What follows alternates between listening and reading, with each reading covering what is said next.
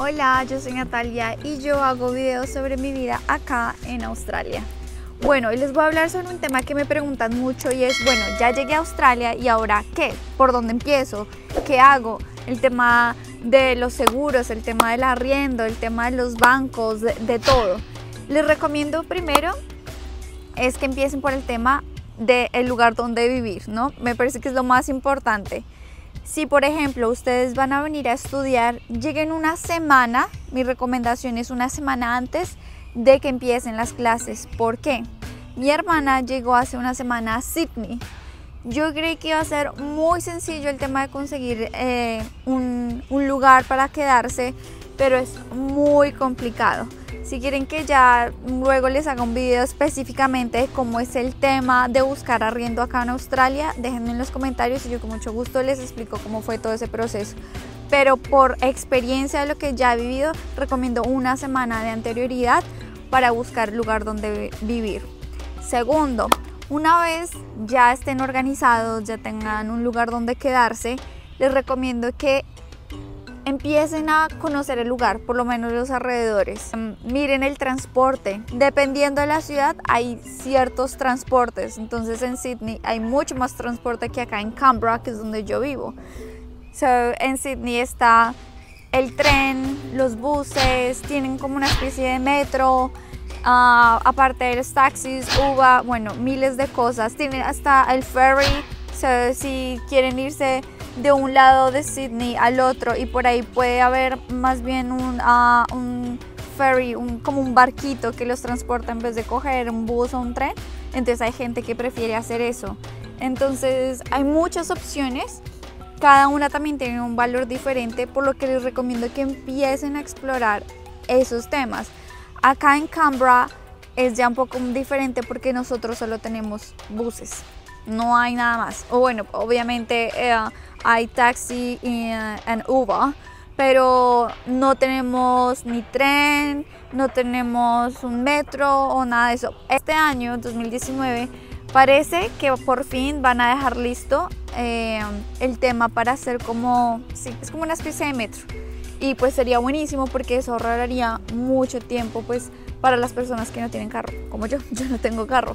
Em, bueno, ya tercero, les diría que empiecen a organizarse en aspectos importantes que les sirva a ustedes. Por ejemplo, el tema de los impuestos. ¿Por qué?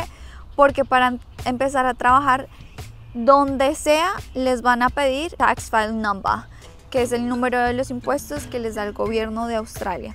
Si es un trabajo en cash, probablemente no se los vayan a pedir, es un trabajo informal estilo, no sé, de cleaner, como de limpieza que van a las casas, entonces la gente les paga de una vez en efectivo porque no tienen una empresa detrás que los esté enviando a ciertas casas o ciertas oficinas. Entonces como ya es un poquito más informal, pues ahí no les van a pedir literalmente nada. Ellos como que simplemente les importa que limpies y ya. Si haces de nanny, dependiendo los papás, algunos no te van a pedir absolutamente nada, obviamente como conocerte, ver cómo eres y ya. Hay otros que sí piden que primeros auxilios, un carnet especial, que ya luego les mostraré que yo lo tengo por lo que yo también soy profesora, aparte del trabajo, tengo dos trabajos, aparte del café, también tengo como Spanish teacher. So, ellos, como eso sí es una empresa que me, me contrató, pues ellos sí me exigen ya algo más organizado, mi tax file number, me piden eh, una tarjeta profesional que es la que les digo que es para cuidado de los niños. Entonces se llama Working with Vulnerable People. Esa como tarjeta para trabajar con personas vulnerables se refieren a niños y a personas de la tercera edad. Ya una vez entonces tengan organizado el número de los impuestos, ya empiezan a poder como organizarse en el tema de los trabajos. Otra recomendación, Dependiendo del trabajo que ustedes vayan a buscar, les recomiendo miren qué certificados necesitan. Acá en Australia son muy minuciosos con cada cosa. Entonces, por ejemplo, yo cuando empecé a trabajar, como mesera no sabía que a mí me pedían el RSA, que es un certificado para trabajar eh, responsablemente sirviendo alcohol. Entonces, Miren también dependiendo al estado al que vayan a llegar, sea a la capital de Australia o a New South Wales, que es donde queda Sydney, o a Victoria, que es donde queda Melbourne. Dependiendo del estado, les van a pedir, o sea, en todos les van a pedir el Eversafe, pero en ciertos lugares piden un poquito más, como un extra de cada cosa. Digamos en Sydney, ahorita que mi hermana va a empezar a trabajar, se dio cuenta que también ese RSA está vinculado con el tema de las apuestas, es decir, si quieres trabajar en un casino o algo así, viene con una tarjeta también que le permite trabajar en los casinos. Por ejemplo, yo acá en Canberra, si quiero trabajar en los casinos, ya me tocaría buscar aparte otro permiso que me que sea como la parte responsable en las apuestas, como que el manejar el, el, tema de ah, lo que llaman como gambling. El caso es que les recomiendo tengan eso en cuenta. Mucha gente también me escribe con el tema de construcción. Ganan muy buen dinero, no voy a decir que no, muy buen dinero, pero sí piden una tarjeta que se llama White Card. Voy a buscar algunos links, se los dejo en la descripción para que se metan a ver eh, qué es lo que necesitan si quieren trabajar en el tema como de construcción y mano de obra y todo eso. Bueno, el siguiente punto es el tema de los bancos. Les voy a dejar por acá una etiqueta porque yo ya hablé e hice un video hablando sobre los bancos. Los bancos acá no cobran, entonces no se preocupen de que sea un gasto adicional. En especial si eres estudiante, cero, o sea, cero, sea cual sea el banco, no te va a cobrar nada. El siguiente punto que yo les recomiendo es el tema de activar el seguro de la medicina. En la mayoría de visas, por lo menos en la colombiana, a ti no te permiten viajar como, por ejemplo, yo tenía una eh, medicina privada y normalmente cuando tienes medicina privada te cubre cuando tú viajas a otro país.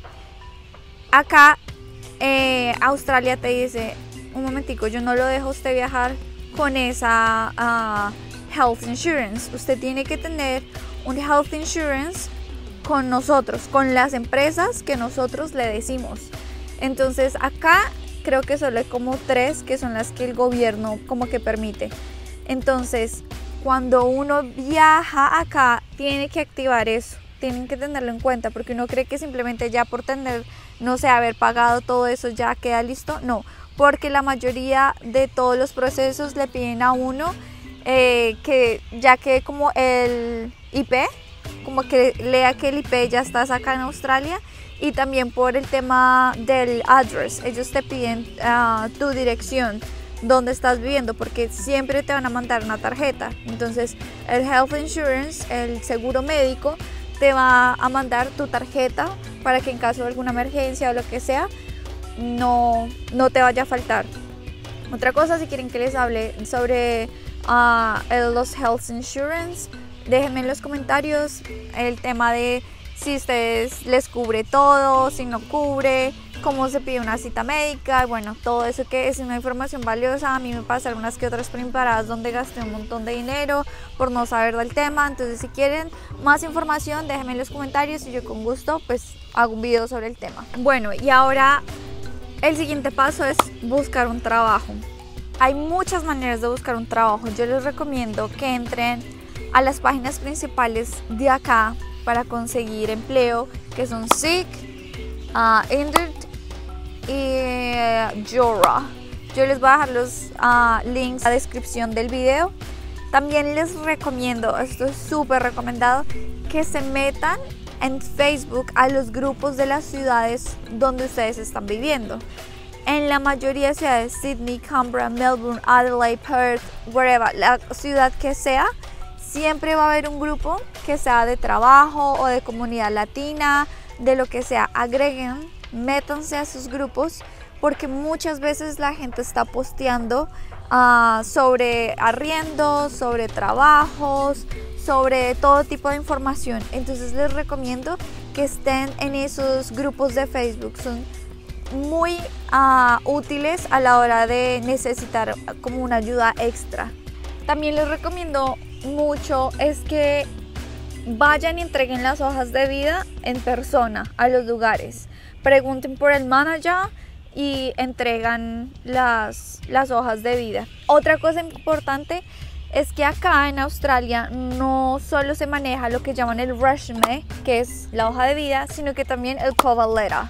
So, es como les explico, es como una carta personalizada a la empresa donde se va a mandar la hoja de vida. Es una perdera de tiempo, a mí no me gusta, yo me acuerdo cuando buscaba trabajo, a mí me estresaba esa vaina porque me parece súper innecesario, o sea, como para hacerle perder el tiempo a uno. Porque escoger la hoja de vida, pero pasarla como en un texto, como si fuera como una especie de párrafo, como una carta.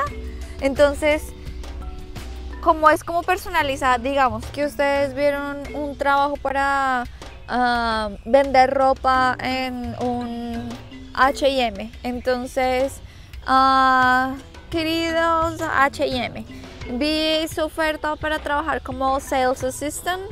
Entonces, estas son mis ah, habilidades, esta es la experiencia que tengo, pero se hace como si fuera una carta, o sea, como en un párrafo.